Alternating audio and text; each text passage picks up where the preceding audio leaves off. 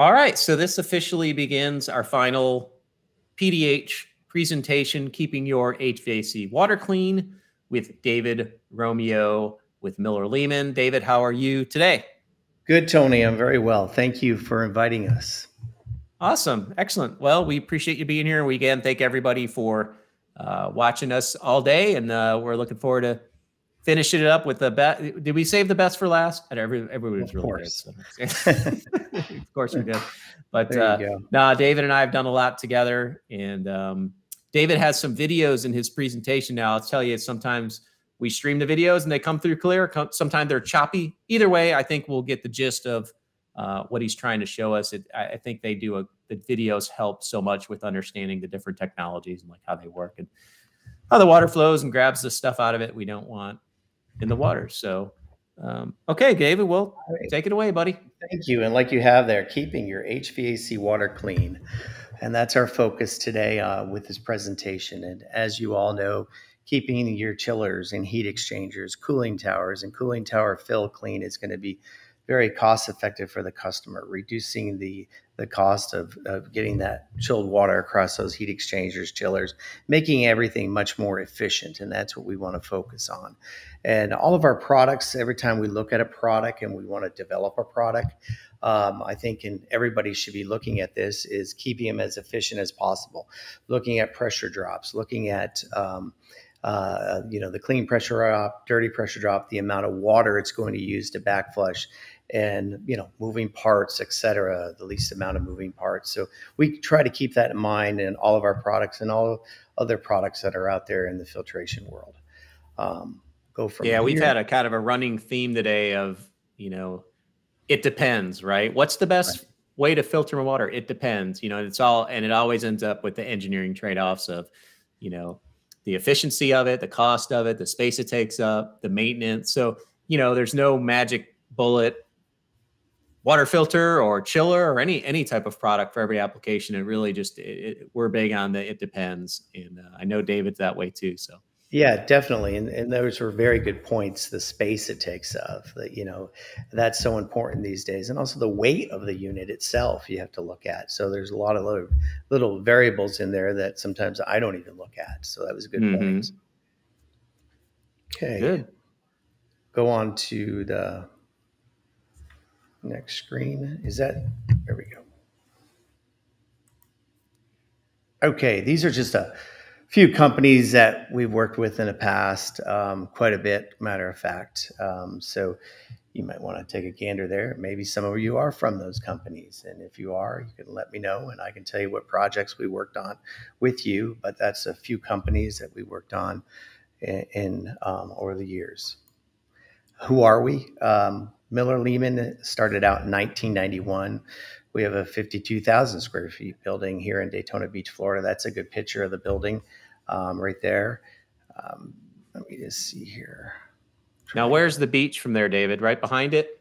Uh, the beach at this point, bird flies, it's around a mile. Just uh, we are just uh, inland uh, from the intercoastal waterway and, of course, the peninsula of where the beach is at. So um, we're around a mile from there, uh, right off of Orange Avenue, which, if anybody's been to Daytona Beach, runs parallel with International Speedway Boulevard. So we're right in that area. Um, nice. Yeah.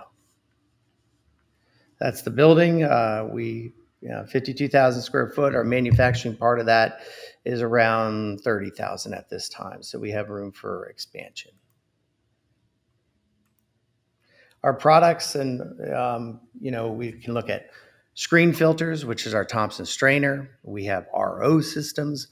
We have the automatic turbo disc system, the uh, UF ultrafiltration membrane system, sand filters, and then we have some point of use little helix filters um, that we sell for point of use applications, kind of where they're manual, like a Y strainer, any of those um, that could be used as a as a filter. We sell them to you know, anywhere from a two inch line all the way up to a three inch line.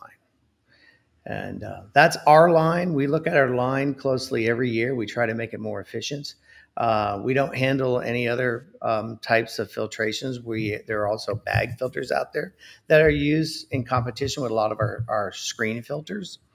Um, there's also centrifugal separators out there that are um, kind of inefficient because of the high pressure drop that you have to have going across a centrifugal separator. Also, we don't believe in non-barrier filtration. So if you think of a centrifugal separator, it's spinning the water to keep the particulates slung to the outside.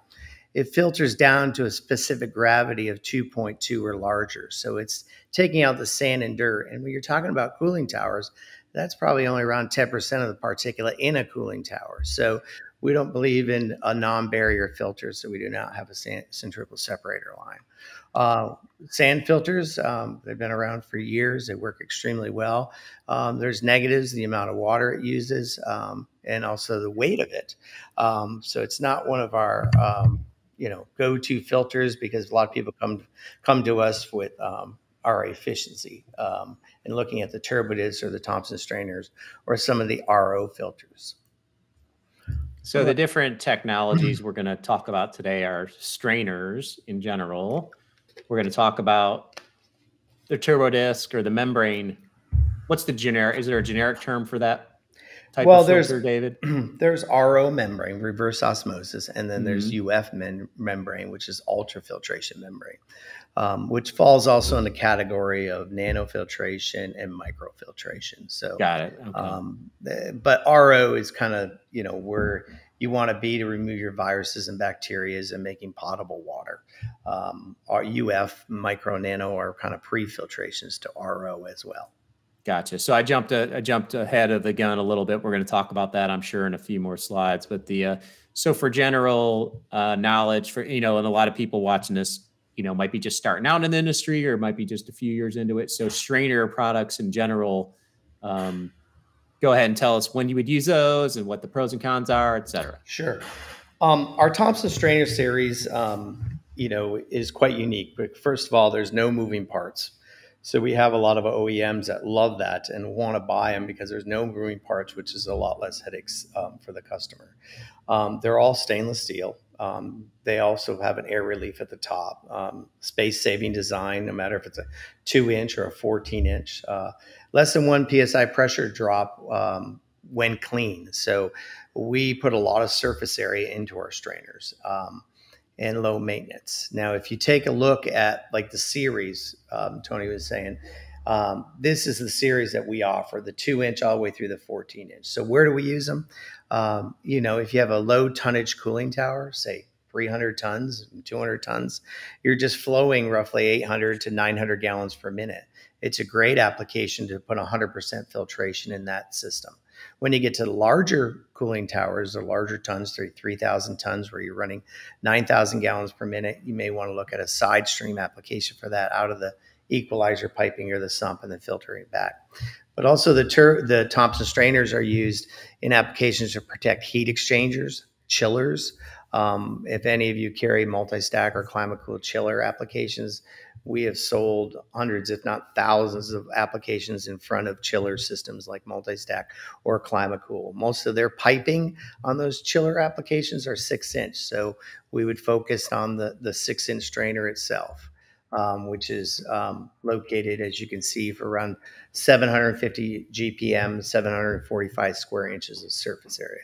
So that's a major component. We're also seeing a lot of sales off of um, our HVAC reps and uh, other reps of seeing it returning back to the cooling tower. A lot of applications where the nozzles on top of the cooling tower can become clogged um, with particulate that is in the process that gets back to the cooling tower, fills up the fill, and ultimately, uh, we had mm-hmm. one recently at Nucor Steel where you know it collapsed the fill by putting a strainer on the unit next to them. They compared the two. It worked extremely well to prevent any particulate, in this case, slag and some other issues coming back to the cooling tower, um, preventing those nozzles to work properly to uh, dissipate the the water over the fill and let the fill handle it to chill it. Um, so, so, you would see this on the condenser loop of the chiller going definitely. back to the cooling tower. Yeah. Okay. Gotcha. Yeah. What about on the chill water loop, side? Open loop.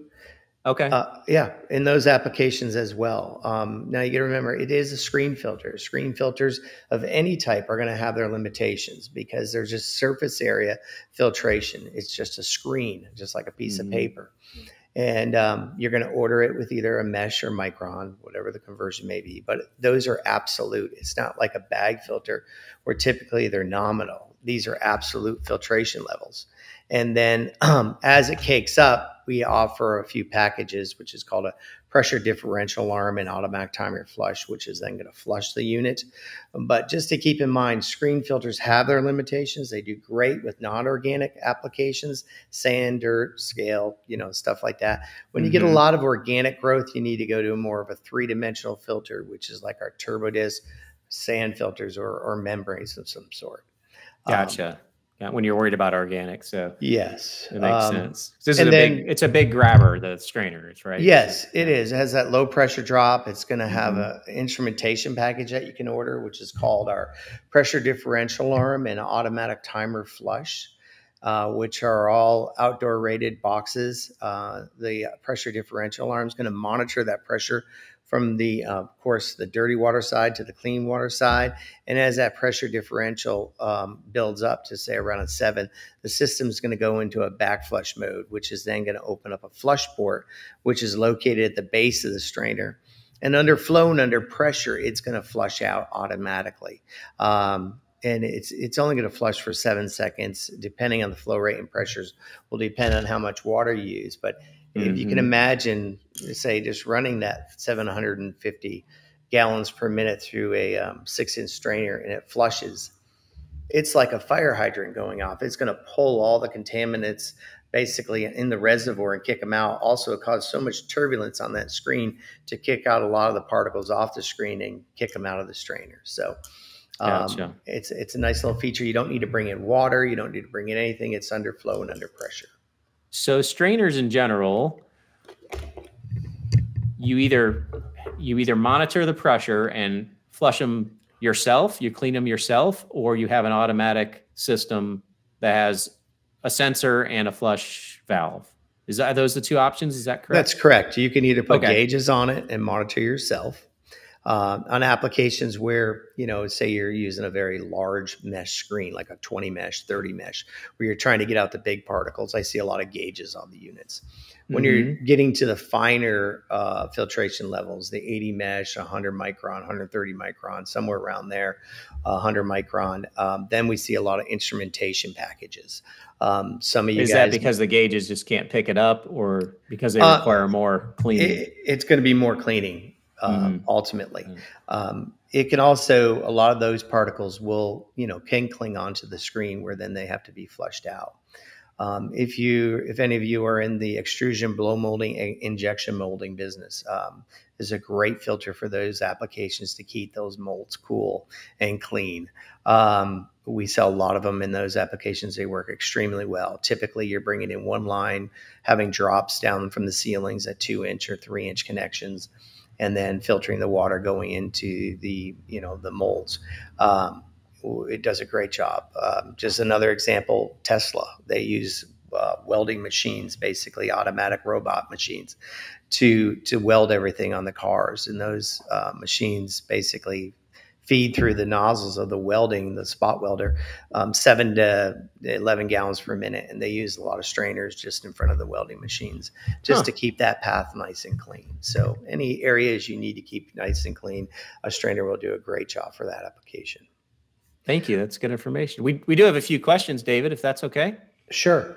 Um, we've been uh, lucky today. We have a very interactive uh, viewership, and we so appreciate the questions. And please drop drop some. Excuse me. Good, something in my throat there. Please drop a question in the chat here if you have any. We're glad to we're glad to answer them. So Paul Holloway uh, is asking, um, can this double as a hydronic air separator, or is an air separator still needed? Um, great question. Um, we do put an air relief at the top of the uh, the units. I don't know if you can see it right there. Um, uh, it's not even on this drawing here. Uh, you can't really see it there either. But we do put an air relief at the top of our strainers. Um, you know, I, I know you're probably re- referring to, I can't think of their name right now. They're yellow and you see them all over the place. Uh, but, you know, we don't, they're, they're, they're a little different. I don't I don't think they should call themselves a filter, air separator. They do a great job to eliminate that. Um, but we have some people that have used them in the past uh, to separate the air out of the out of the system, um, and they work extremely well. But um, most of the time, they're just used as a strainer uh, with a very low pressure drop with the air relief on it as a bonus um, for it. But they're not sold exactly for just air relief. Okay, thank you, David. And Renee is asking, uh, would you locate these downstream of the chill water pump? Yes, exactly. Um, on the discharge side of the chilled water pump, I would definitely recommend that's where you need to locate these. And one thing is, is that our designs, um, you can take a look there. You have the recommended flow rates in the surface area. Um, as you can see, our surface area goes up all the way through 10 inch, and 12 and 14 kind of stay the same. But uh, we're going to have around, depending what you're comparing it to, anywhere from three to six times more surface area than uh, a lot of screen or bag filters that are out there. Um, so that gives us a really good advantage, and that's how we can keep our low pressure drops. We have a lot of surface area, uh, but they're located on the pressure side because you are flush your flow. So we like that. Um, but that's typically where they're located. Either one big, large strainer and through an 8 inch line, 1,350 gallons per minute. That's roughly eight feet per second. Um, put a big eight inch strainer, but I've also seen them where, hey, they don't always put a big eight inch and they might have some drops that are four inch or three inch and put smaller units at those locations. Um, so, but definitely on the discharge side of the pump that would be perfect. Great. Thank you, David. I'll let you know if any more questions come in. So. Okay. But I wanted to go back to this screen just to show the surface area and the recommended flow rates on there. Uh, we have charts for all this to give you the curves rate way out there. And for any of your strainers that you specify or looking installed, I would definitely look at all those um, pressure drops that you're that's occurring. So um, for just strainers in general, make sure to check yeah. drop. that's the message there. Exactly because i can't tell you how many times you know we replace basket strainers or some other strainers where they're always cleaning them or they're always dirty and they get high pressure drop and it's causing issues. Um, and you know it just goes back to you know looking at the surface area. The more surface area you have the lower the pressure drop less less often it's going to have to be cleaned. That goes for any type of gotcha uh, we also make our Thompsons as skid packages. We did talk about the, the, last question was great about where to locate them off the discharge side of the pump. But if you wanted to do a um, a package as like a side stream package or anything like that, we do offer pumps with Thompson strainers, all the controls, alarms, etc. Um, either with our Maxim controller, optional Allen Bradley, or Siemens control. But this is uh, in competition with like we see a lot of centrifugal separators out there. Have we used centrifugal separators? We have, and I have, but mostly in the mining applications where there's a lot of sand and dirt because that's what they were initially designed for. But you do see specs for them in the cooling tower world, and um, we offer this as as an option if you want to compete with centrifugal separators. But it does have a barrier, does come with a pump, you can take your flush to a solid recovery vessel if you would like, or just take it to drain. Um, but that's a, a, feature we do offer. Um, and again, they're everything from, as you can see here, from the two inch models all the way down to the 10 inch models uh, we can make. So you have the different flow rates. We give you a recommended flow range. You can um, go to any of our typical our websites. We do include pump curves with them, so you can take a look at the pump curve. I always like to look at pump curves, make sure we have enough pressure and flow, and make sure if we're feeding anything, we have enough pressure. So if you're taking mm-hmm. it out mm-hmm. of a pressurized line, putting it in, or if you're putting it to sweeper piping, it's critical to have enough pressure to make those work properly. Yeah, great. Thank you. Okay, there's a little video here which I will I will play. Let's see if um, that goes through. There you go. Oh, it looks great give you a little idea of how it works.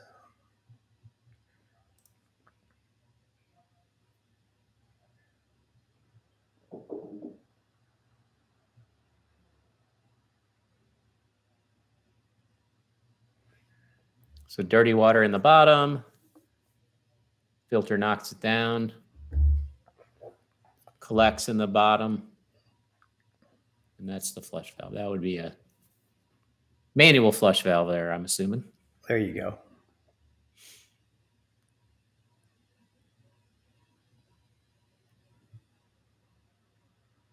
Nice.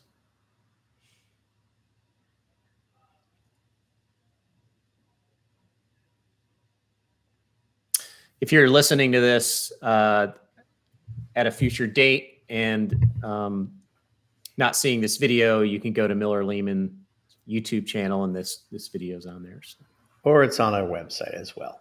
Or it's on. Okay, great and, and after looking at that, you can see how you know the particulate comes in, say a, a four inch line, and it mm-hmm. hits the housing, which is much larger, so the velocity slows down. So on all types of filtration, as soon as the velocity throws slows down through a media filter, a barrier filter, you're going to get better filtration. So we bring right. ours in. It's a unique design. Um, it flushes under flow and under pressure, and so they're made right here in the United States. So as you notice, the inlet and the outlet are 180 degrees apart.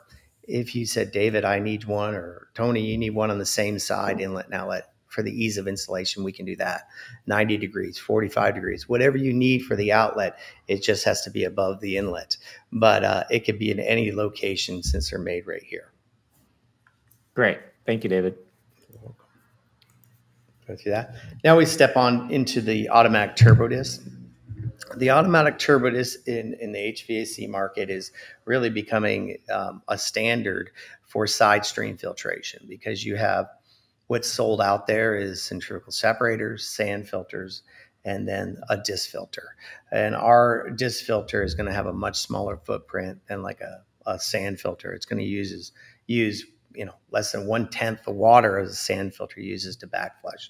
Um, so it's also going to weigh a lot less, which is great for for bigger buildings. Um, it, it's going to get down to anywhere from 10 to 400 microns um, whatever disc that you choose to be to be mm-hmm. to use in that system.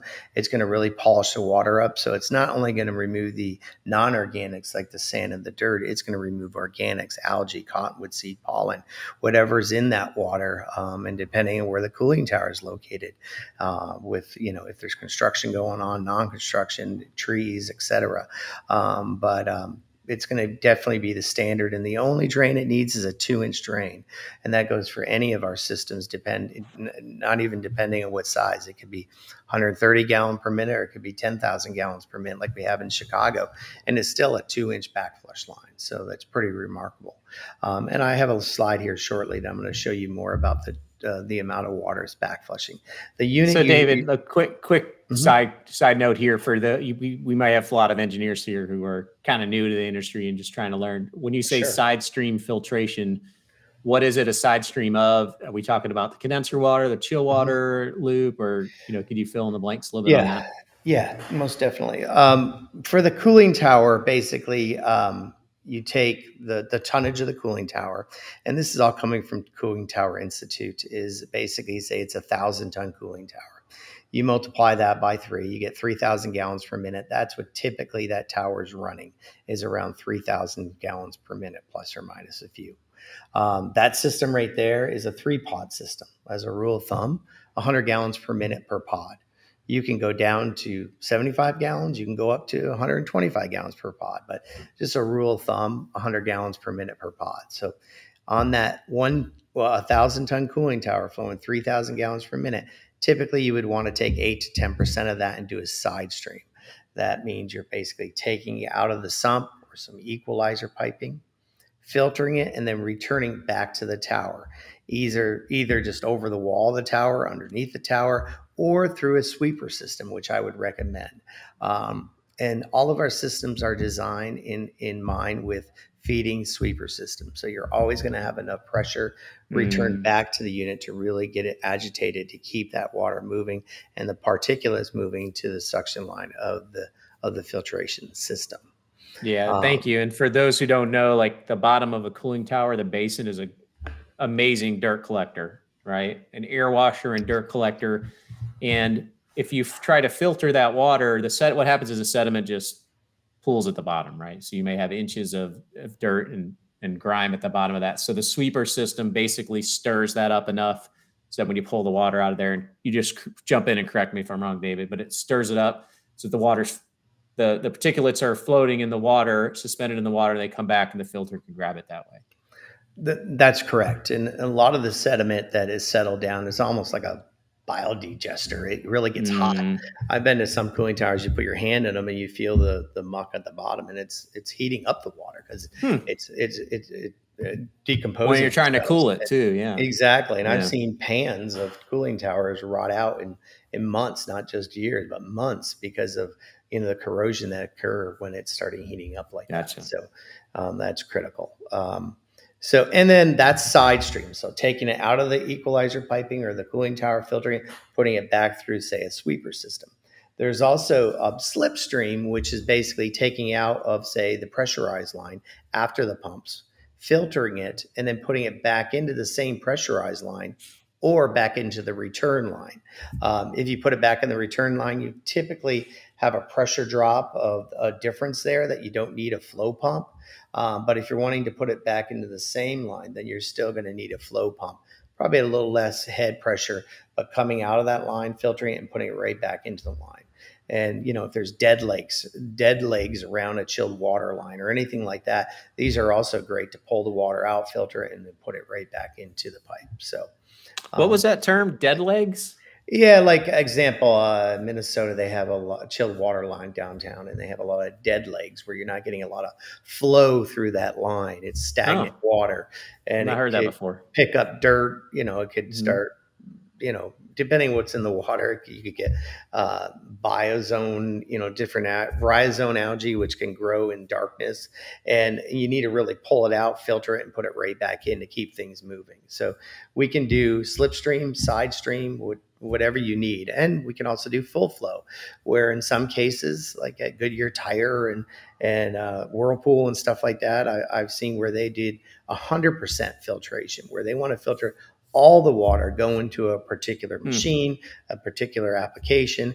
Um, the beauty of our filter is is that say it's uh, an eight pod system uh, of filtering, say 700 GPM. Even when we backflush, you're still getting 700 GPM downstream because we're only taking one or two pods off at a time to filter.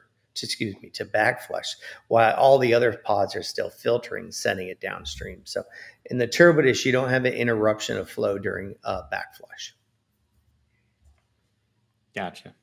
And then these are some of the models.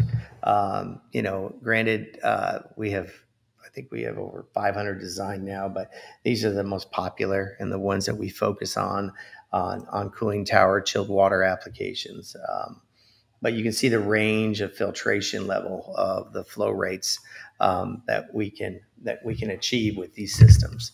Um, so, uh, you know, wherever you're located, or if you have already purchased one, we appreciate that. Um, but the footprints are going to be much smaller than a sand filter. They're going to weigh a lot less than a sand filter, and that's our big you know competition. Sand filters are great. They do a great job. They filter extremely well. They're just highly inefficient and they're maintenance hogs because you do have to change out sand. You do have valve issues. You have lateral issues. And laterals are basically at the bottom of a sand tank that could break and they will break periodically, where then sand gets released to the cooling tower. And I can't tell you how many even strainers we sold after sand filters just to prevent any sand from making it back to the cooling tower. So um, with our disc filters, you don't have to have, have any of those issues. Um, the next slide will give you a little comparison about water savings. So if you have a three pod 300 GPM, a six pod 600 GPM, or a 12 pod 1200 GPM, uh, compared to a backflush water of a single backflush. That's one backflush. You're going to be saving, you know, um, you know, around 860 gallons of water for a three pod because ours is going to take around 36 gallons of water to backflush, where a sand filter is going to take around 900 gallons of water backflush. Mm-hmm. So just in one backflush, say you do two a day, that that really adds up. Um, and then the question is, is where where do you get your backflush water from? So our turbodisc is taking the backflush water from our clean water manifold. You can kind of see each system right there has two manifolds, a dirty water manifold and a clean water manifold. Of course, the clean is on the discharge side. We're taking the clean water and we're putting it through a small little booster pump, either two or five horsepower.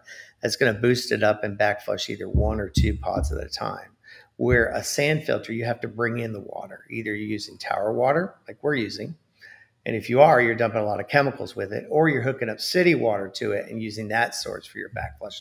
We don't have to have the city water hook up, and since we don't use a lot of water, we can just use the tower water for that. Um, and again, it's only a two inch backflush drain where now, if you have a 300 GPM sand filter, you're probably looking at a four inch line. A 600 GPM, probably either a four inch or six inch line. A 1200 GPM, either a six inch or eight inch line. And that's a lot of water going to drain. That gives you a comparison of uh, the water used. Right. And we've been kind of running a theme today of, you know, engineering trade offs, right? So if you're an engineer designing the system, look at all the different options, take into account, you know, the maintenance of it, the cost, the weight, size, and the uh, in this case the backflush, and you know all the different parameters of it. As as most of our viewers know, I'm you know preaching to the choirs, but um, it's been kind of like what we've been talking about all day. What's the best solution? It depends, right? So. Exactly. Cool. Um, here's a little video of um, you can just watch it backflush and. and I know this video, David. I know this yeah, one. We took that in the parking lot in Asheville, North Carolina. um, one thing I would just want you to watch is you can watch the water spin as it comes into the into the chamber where our disc stack is. That basically keeps the heavier particles away from the disc stack, so it prolongs your backflush. It's not just sitting onto an element like. So before you play that, mm-hmm. oh, sorry, David, go ahead. I didn't mean to interrupt you. No, go ahead. You're fine. Uh, before you play that, so what you're looking at there um, if you saw the previous slides, the pods are they don't ship like that. That's just a demo where it's a clear version of the pod, and inside there, there's little plastic. Um, I don't know what do you call them? Do you call them filters? They they are. They're polypropylene discs, basically. They're uh, basically discs, and you're going to see the water is dirty. He's going to run it, and then it's going to be clean. He's you're basically going to backflush it here. Is that correct? That's correct. You're gonna. I just want you to see the water coming in, and then you're going to see it backflush. And a couple of things that we do that I want you to notice is that the water's in the stack, depending on the velocity, it could be all the way to the top. It could be right around that area. Um, it could be 50% covered, um, depending on the flow rate and the velocity you're running. Um, and then when we go through a backflush, we apply a little air to the top of the pod. That's why you see this little air line that's on the top mm-hmm. of the mm-hmm. pod. And that air basically is 25 psi and it pushes all the water and contaminants that are, that are suspended in the water out of the system. And then the jet spray out tangentially, scouring and cleaning the disc. We also separate the disc. So you'll see a piston cap right at the top, right here, kind of separate around a half of an inch, separating the disc so the jet spray out tangentially. But take a look at it, and then I can answer any questions you have afterwards. Hopefully it's playing. There it goes. Yeah, so the water swirling around there represents it's been it's been working a while collecting dirt, right? Yes. Yeah, sometimes when we live stream and play these, but it's good. We can still get the gist of it. Um, so this would be what we're viewing now is just normal operation. Dirty water's coming in, it's grabbing the stuff out of the water, and you're going to push the button and you're going to clean the back flush it, right? So that's the back flush.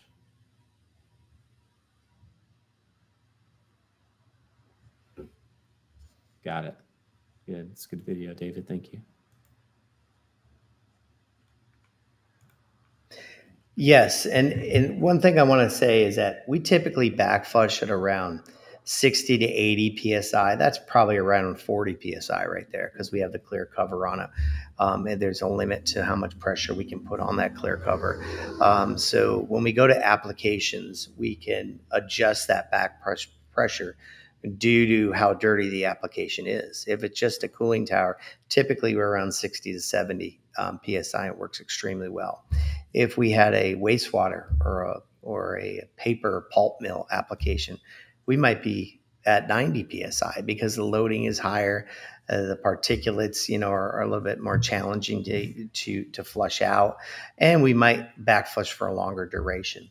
That system right there can backflushes for around five seconds it uses around uh, four gallons of water to back flush. And we make a, a, a, whole line of air assist systems that use very little water to back flush.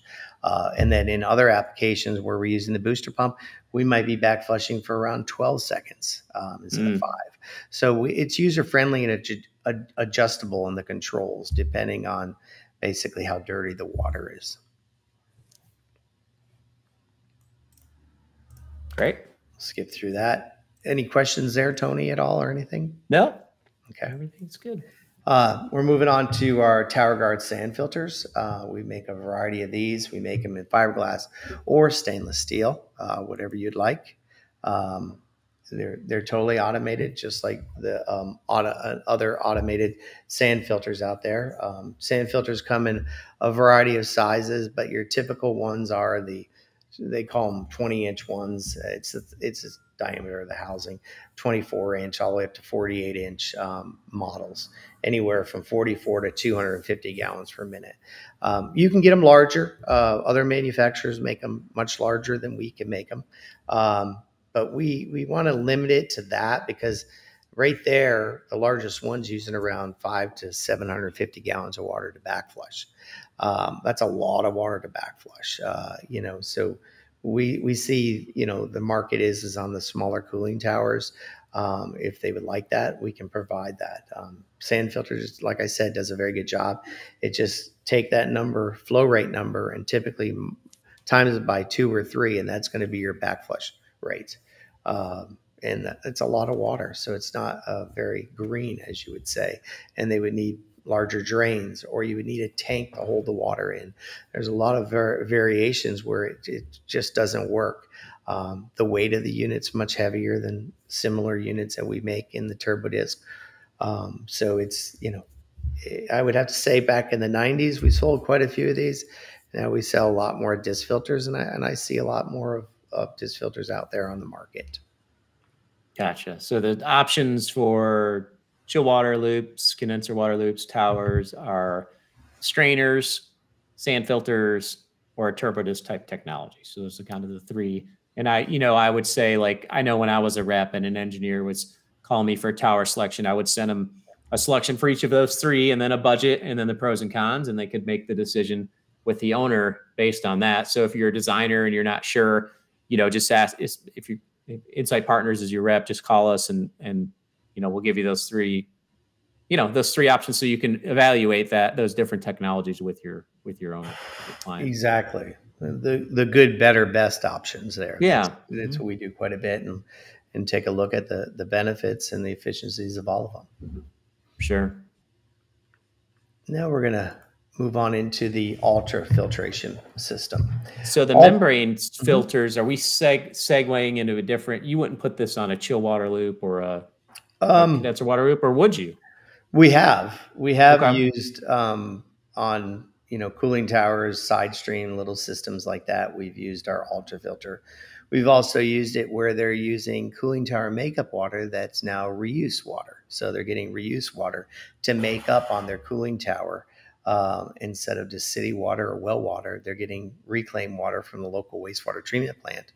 And they're wanting to purify that water a little bit more before they put it in their cooling towers.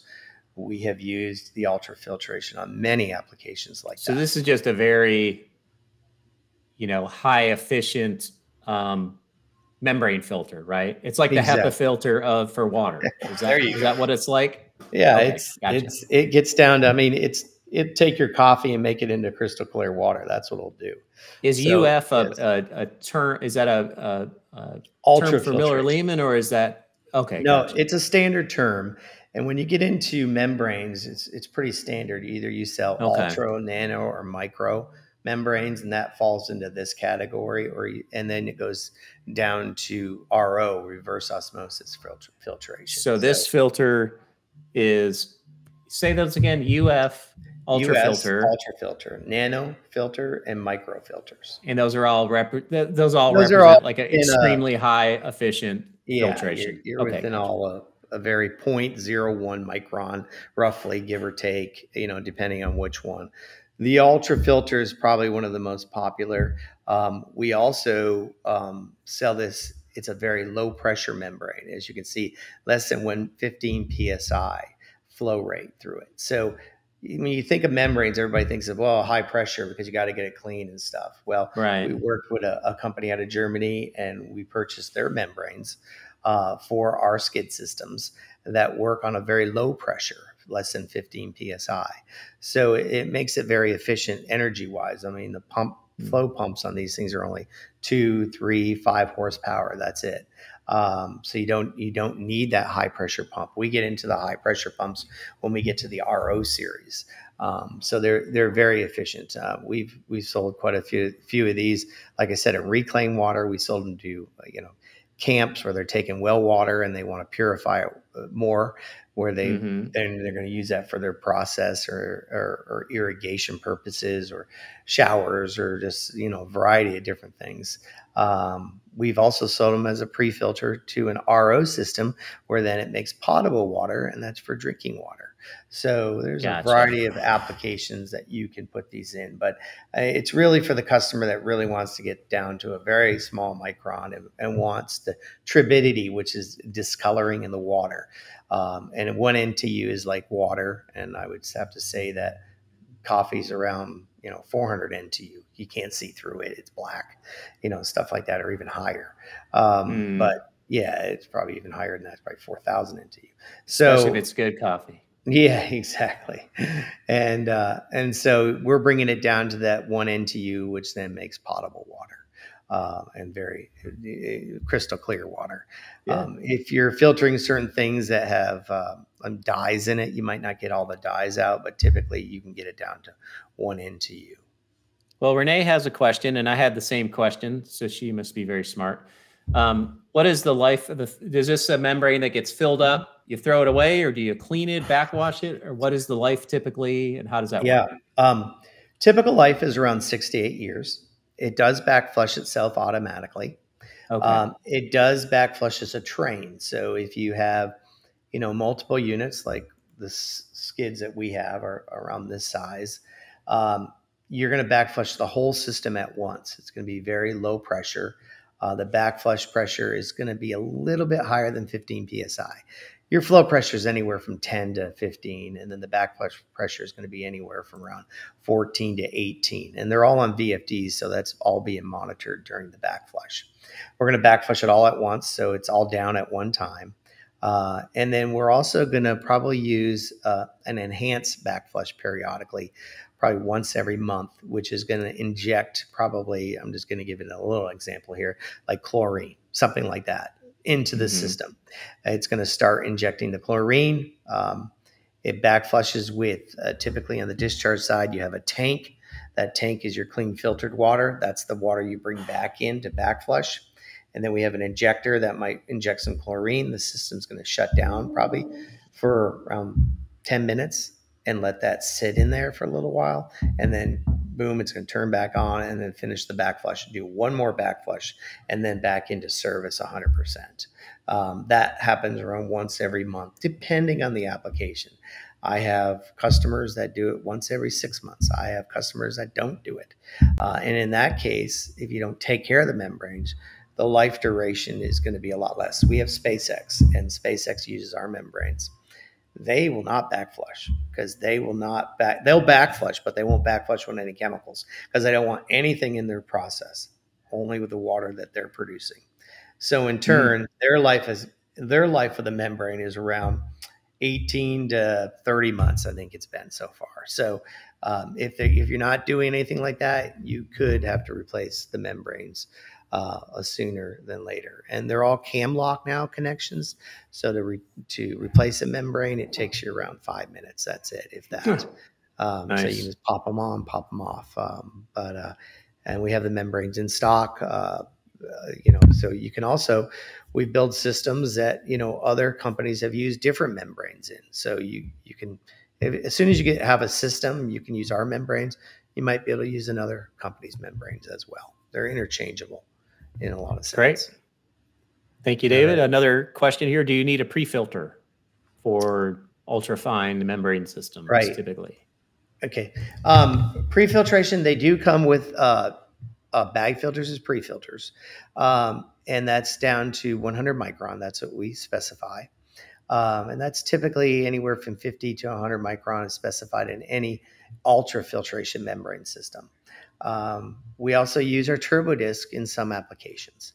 Um, we have systems that are in hemp farms and they're using well water and they'll go through the turbodisc, then they'll go through an ultra filter, and then they always want to use RO filter water. So we then put it through our, our RO system. And that's a whole schematic flow chart. You know, it goes into turbodisc, yeah. it goes into a tank, it goes into the UF, it comes out of the UF into a tank, and then you know we use that water to backflush the UF, and then that water feeds also the RO. So it's a whole schematic that we can provide you as well. But uh, um, it's it's it's great technology. Um, they do flush extremely well, but you do have to take care of them. But the the life is you know you know five to eight years is what we see most often. And right. by putting pre-filtration and by doing enhanced backflushes, it'll they'll last a long, a long time. Great. Okay. Thank you, David. Mm-hmm. Moving on to the RO. Um, so again, for those who are new, RO is reverse osmosis, correct? Correct. Okay. It's, you know, RO is kind of like, do we use it for cooling towers, chilled water? I haven't sold them for any of that stuff. Um, okay. Do they use it at your local car wash? They do. Your final rinse where the water beads on your car, that's RO water. Do they use it for you know the hemp industry yes they do do they use it you know to you know just drinking water applications yes uh, do they use it in making semiconductors and all that yes they do so there's a lot of opportunity out there for ro um, even feeding cat scan machines and stuff like that um, so you just got to look at every application for ro because ro makes very aggressive water. So i've had some customers that you know, we've told them don't use metal piping on the discharge side of an RO because it is going to drop the pH from seven or 7.5 down to 6.5 and it's going to be very aggressive water. And it could i've seen it where you know it destroyed piping afterwards. So so aggressive you, water is acidic? Yes do i have that right? Okay that's how i phrase it yes um, gotcha one foundry and used it recently and they destroyed all their their piping because they put cast iron piping in and they put RO water in it and oh wow and cooperate so be well. careful of that if yeah. you're going to use so, RO and I know yeah. you and I talked about the hemp the you know indoor agriculture or right any indoor ag uh, where they're growing plants obviously the plants like the water to be a certain way and this product is used commonly whether you're feeding it from a well or from city et cetera, Right? Exactly. And, and the beauty of RO is that you're you're making purified water, so you know where you're starting out at. In a lot of cases, if someone brings in city water, they'll still put it through an RO, but we'll have to do we'll have to put some softeners in front of it to remove some of the um, um, bleach chlorine basically in the water before it right. gets to the RO because it would hurt the RO. And then when it purifies it, it's putting it in some tanks and if it's an application where they're feeding it in to cool something, or if it's an application where they're feeding plants with it, they want to know exactly they're starting off with pure water. So when they interject fertilizers, fertigation, or any of that into the water, they know where they're starting out. If they're using well water, they don't know could have a lot of iron. It could have a lot of.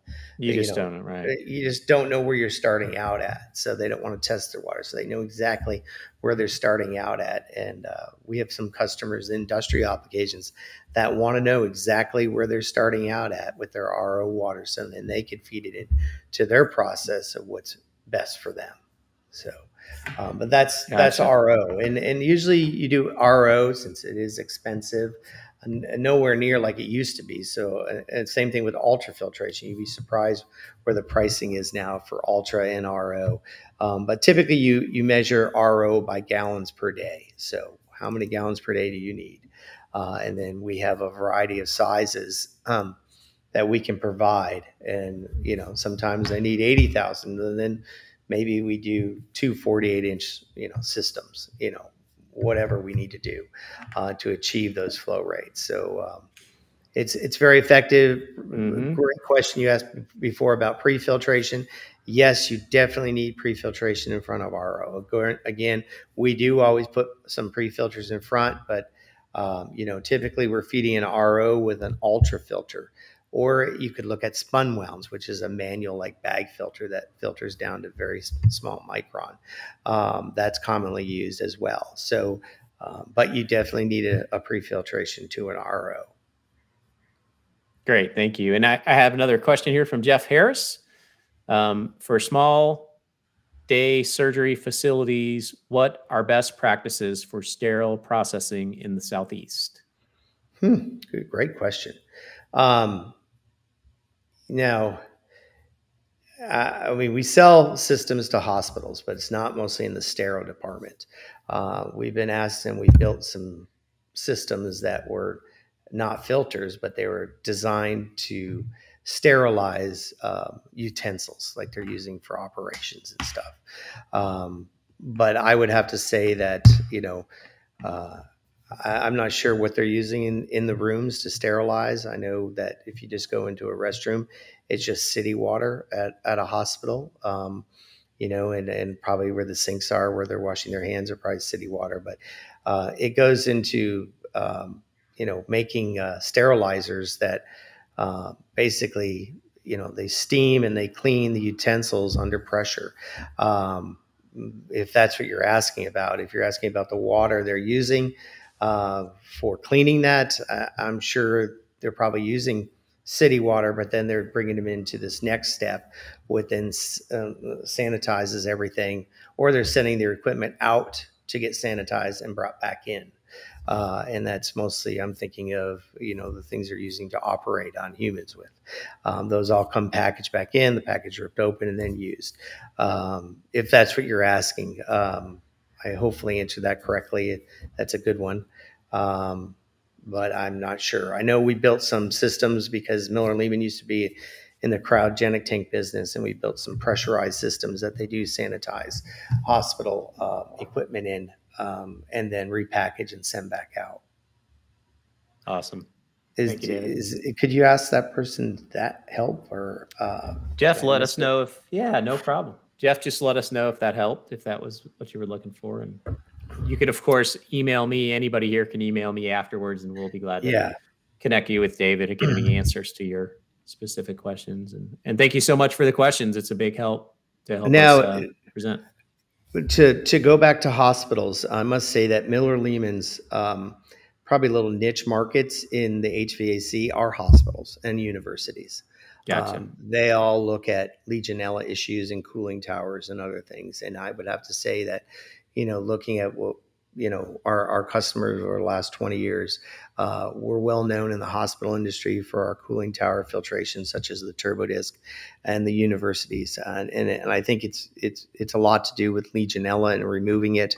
It has to be a good combination of a good filter and a good chemical use so just like your pool awesome. at home if you have right, a pool at right. home, you got to use both chemicals and a filter to keep it clean.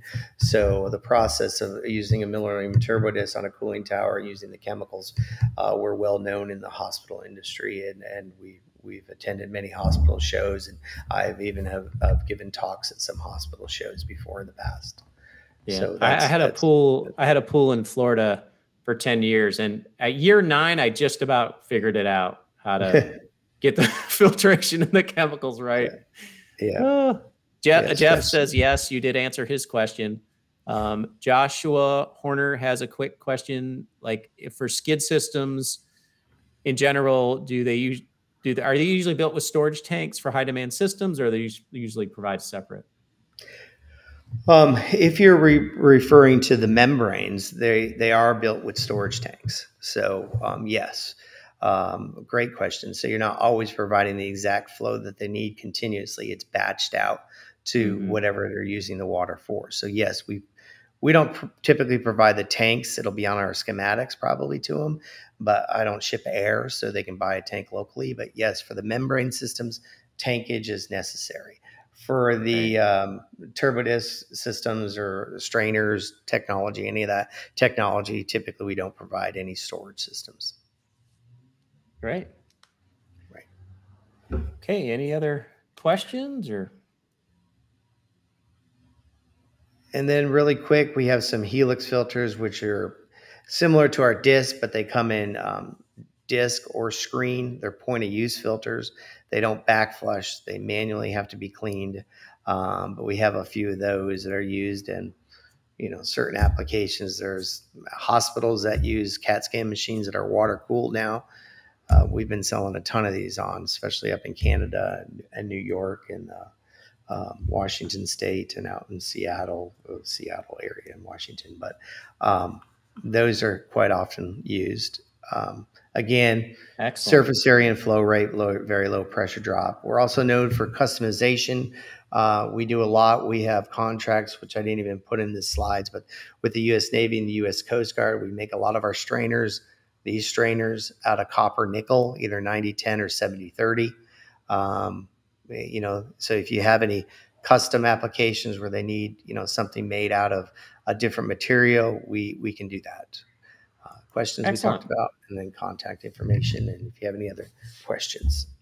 Thank you, David. That was awesome. Thank, Thank you so you. much Great for that questions. overview. I appreciate that. No, we we appreciate you taking the time today to come on, and thank you, thank you so much. So before um, you go, David, if you can hang out for just a second, and uh, thank you all for for watching today. We're about to wrap this thing up, so we appreciate it. If, before you go, if you wouldn't mind giving us a quick uh, star rating, it literally takes just a few seconds. Click on the link in the chat. I know many of you have already done that, so we greatly, greatly appreciate it. But we'd love to get feedback from as many people as possible, so we see how we're doing. If you've had, uh, if you haven't downloaded the PDH certificate for this class, just go down below and click on the link. If it doesn't automatically download, because some browsers will block that depending on your your security settings, just email me at tmormino at insightsusa.com. And of course, email me if you need support on any uh, water filtration products. You want to get in touch with David, um, get touch through me, or you could email your